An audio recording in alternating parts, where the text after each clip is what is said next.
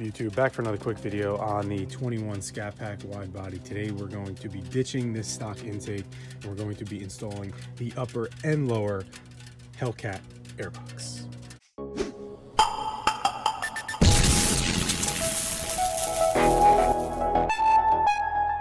All right guys, so I'm excited to finally do this mod. Today we're gonna be ditching the stock Scat Pack intake. We're gonna be installing the upper and lower Hellcat intake as well as the Hellcat filter and the inlet tube behind the headlight. So I had purchased the whole kit used off of a forum for a very good deal.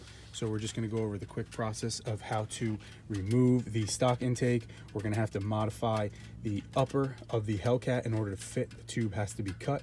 So we're gonna go over all that. We'll get it installed and then we'll see how it sounds when she's on. So let's get to it. All right, first step, we're just gonna remove this bolt here. We're gonna undo all of these screws here and on the hose clamp and remove the breather line here. And we'll take this whole top lid out.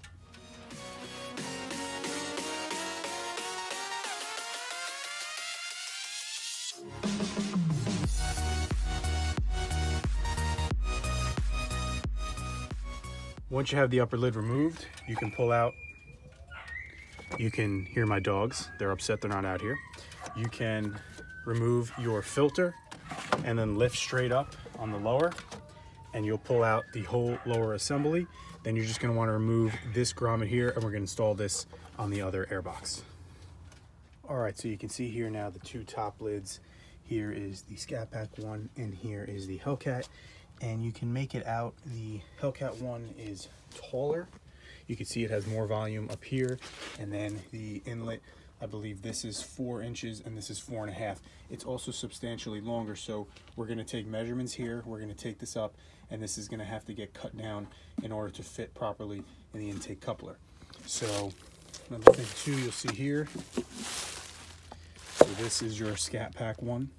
You can see it's not as tall and it has all of this uh, extra plastic in here that's a restriction. This whole box here where this one is completely wide open and free flowing. So that is the benefit of why I wanted to do the Hellcat upper as well. Yes it is going to be a little bit more work but to me it's going to be worth it if I'm doing it anyway. It also does have the port here which I'm going to drill out so that I can put the breather tube back on it and don't have to put a breather filter and keep it disconnected. So this way it will look as factory as possible and will look real good under the hood. So let's tape up this in the tube. We'll get everything cut and then we'll start getting it installed. All right, so we have this all taped up. So basically you're gonna have to cut out the whole piece of where the mass airflow sensor would be because Hellcats had uh, MAF and the Scat Packs only have an intake air temperature, which is the um, little circular one. So if you look here, it's just over an inch that you'd have where your intake coupler would actually um, be attached. So if you do it here from the base, that still gives us well over an inch. So even though we are cutting a lot off, we're still gonna have actually even more room than we had on this one or on the stock one. So just tape up right around it and we're gonna go get our cutting wheel and we're gonna cut this tube right off.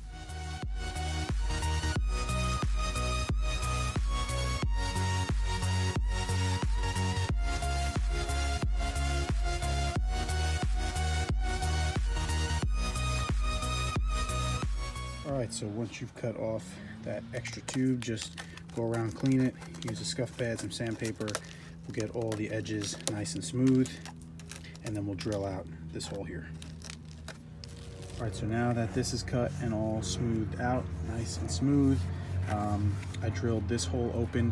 I just used at first a small drill bit and I drilled four pilot holes and I grabbed some needle nose pliers and I ripped out all the little uh, tabs that were in there and then I went through with a half inch and uh, opened up the whole thing. So you can see on the inside here you have a nice hole for the breather.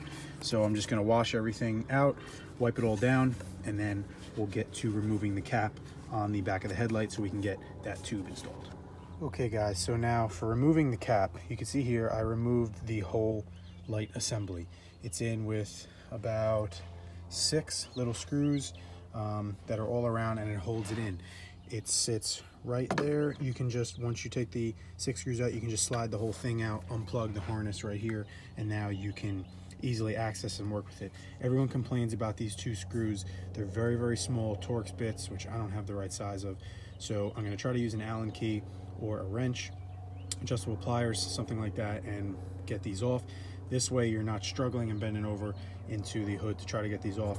It's easier, just take the six bolts off and then you can work with it on your bench or wherever and access this to get the cap off. All right, next up now, we're gonna install the lower box and we're gonna put the duct inlet on this and then we're gonna mount it onto the back of the headlight.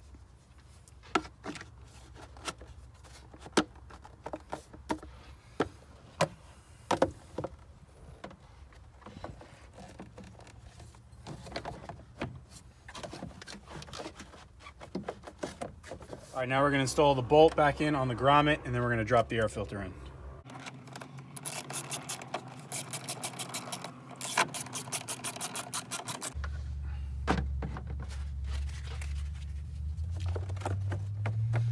filters in. Then we're gonna take this breather tube off to make it easier first. And we're gonna install that on the Hellcat lid.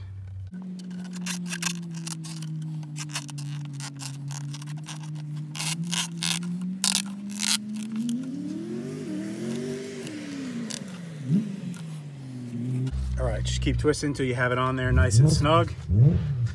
Then we can put the lid back in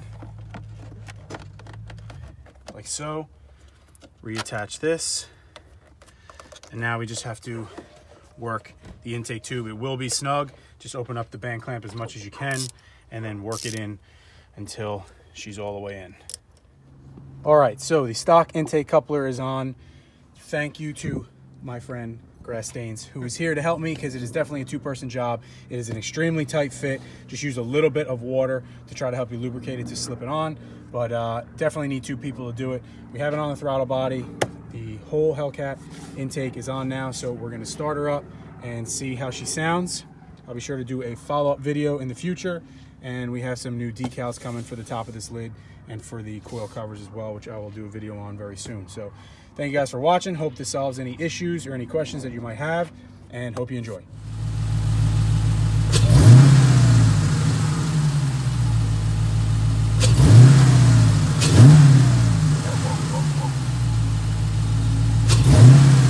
Yeah.